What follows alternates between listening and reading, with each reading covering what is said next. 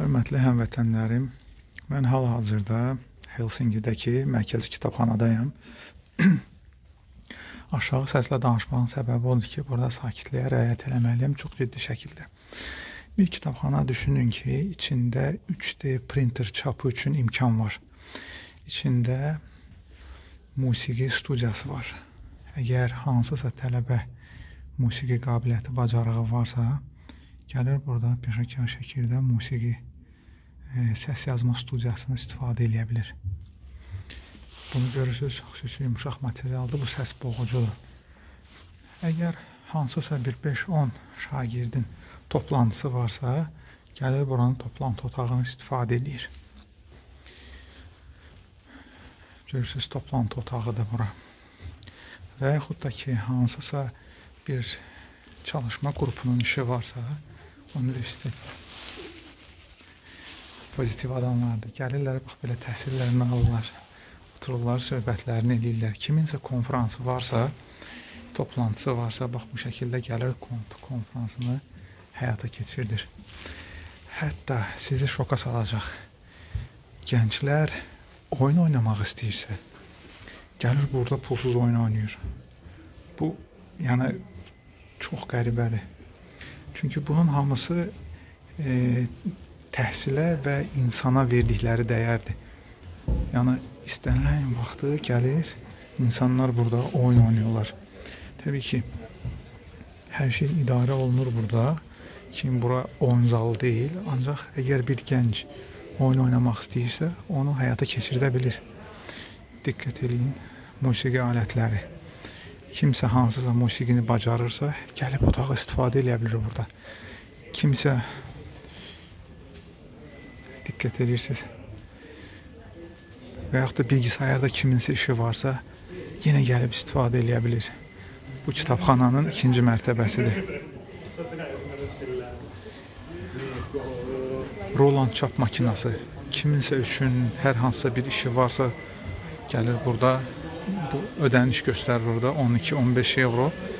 Kitabları götürürsən, bilgisayarını götürürsən, gəlirsən burada oturursan, belə oxuyursan.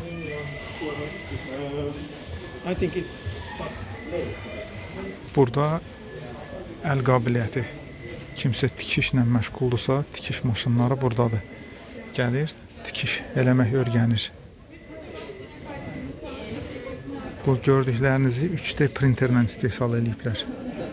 3D printerin məsələyə nə aidiyyəti var? Mən sizə göstərim. Baxın. UV printer, lazer printer. Baxın gənclər, model quranlar gəlirlər bura. Bax, kimsə USB-sini qoşub bura.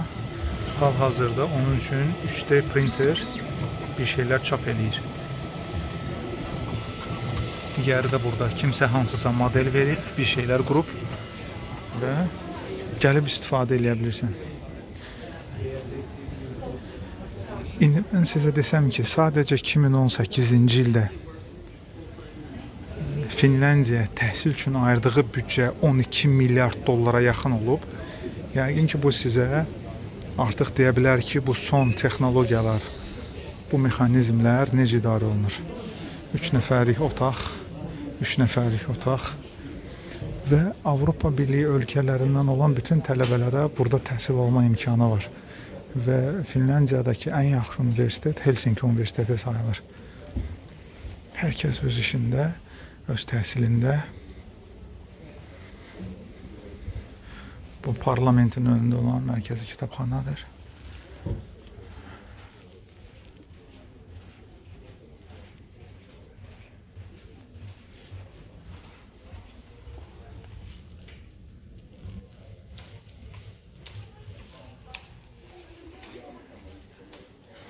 Hər bir şagirdə individual yanaşılır. Hər bir şagirdin e, aldığı qiymətlər Təhsil Nazirliyi tərəfindən ayrıca dəyərləndirilir. Dünyanın ən son e, modelləri istifadə olunur. İndividual olaraq hər şagirdin universitetdə və məktəbdə oxuduğu zaman onların e, təhsil e, qavrama mexanizmini, qavrama imkanlarını analiz edib onları doğru yönləndirmək üçün dünyada sizə qeyd etmək istəyirəm ki, Finlandiyadan daha yaxşı təhsilə dəyər verən e, və təhsili yaxşı olan e, dövlət yoxdur. Bunu statistikada özünüz görə bilərsiniz. Hər zaman da yəqin eşitmisiniz ki, orta təhsil sistemləri belə çox şahanədir bunların. Sizi mən bu mərtəbə ilə qısa tanış etdim. Ümid edirəm ki, sizə bunların təhsil sistemi haqqında sadəcə bir ildə 12 milyard dollar vəsaitin ayrılması və uşaqların müstəqil olması 8-ci, 9-cu sinifə qədər oxumuşam ki, uşaqlara qiymət verilmir.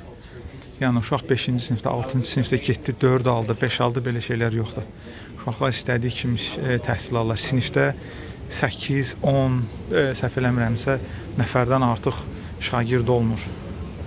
Bunların hamısı yəni çox əhəmiyyətlidir. Və bu qədər belə bir böyük bir bina tələbələrin ixtiyarındadır. Bura isə kitabxananın 3-cü mərtəbəsidir. Haradakı kitablar var.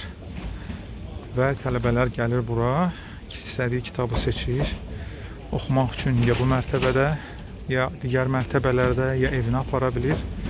Ondan sonra da burada kitab qeydiyyatdan keçirdir və kitab onun ixtiyarındadır. Görürsünüz necə fərah, işıqlı, minimalist, təbii, ergonomikdir hər şey. Və hətta burada çölə də çıxa bilirsən. Birbaşa çölə çıxış var. Çıxıb çöldə otura da bilirsən. Diqqət eləyin. Bütün e, gigiyenik qaydalar riayət olunur burada. İşıqlanma, ergonomika, fərqli masalar, rahat oturmaq şəkilləri. İstəyirsən orada otur, istəyirsən masada otur, istəyirsən burada ayaq üstə dur, oxu. Baxın, burada da digər belə bir yer var, ayaq üstə dura bilərsən burada oxumaq üçün. İstəyirsən otur, uzan, özün bilərsən. Görürsünüz? Buradakı oturaq şəkilləri də fərqlidir.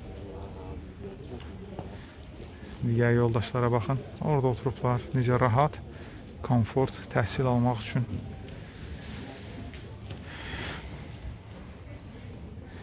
Bəzən bizdə deyirlər ki, filan kəs oxuya bilmədi, filan uşaq oxudu, oxumadı. Hər bir e, insanı Allah fərdi yaradıb və hər bir fərdin də öz təhsil alma, qəbul, qəbul eləmə üslubu var, mexanizmi var, yolu var. Təhsil sistemi bunu müəyyən etməlidir və təhsil sistemi imkan yaratmalıdır ki, hər bir fərd, hər bir şəxs öz qabiliyyəti çərçivəsində gərəkən təhsili ala bilsin. Təhsil sisteminin, Təhsil Nazirliyinin, təhsil müəssisələrinin də e, fəaliyyəti bunun üzərində olmalıdır. Bu işi dünyada Finlandiyadan yaxşı bu gün belə heç kəs etmir. Və burada təhsil biznes deyil. Yəni razıyıq ki, Oxford, Harvard, Yale, başqa universitetlər e, onların bugünkü e, belə deyək ki, dünyadakı ticarət və biznes e, orientasiyalı təhsil sistemləri yaxşıdır. Ola bilər, amma bu daha çox biznes üzərinə qurulub. Harvardda təhsil ala bilmək üçün 100-150 min dollar vəsait ödəməlisən. Amma Finlandiyada belə deyil. Finlandiyada insanın təhsil alması insan kimi savadlı yetişib cəmiyyətə, insanlığa fayda vermək üçündür. Yəni biznes üzərinə dizayn olunmayıb bunlar. Və ona görə də burada daha çox dövlətin üzərinə güc düşür. Dövlət yetişdirdiyi fərdləri, yetişdirdiyi insanların hər birinin təhsilinə individual dəyər verir, önəm əhəmiyyət verir. Düşünün, bu qədər gördüyünüz hər bir şey tələbələrin, gənclərin təhsili, insanların keyfiyyətli yaşaması, təhsil alması üçündür.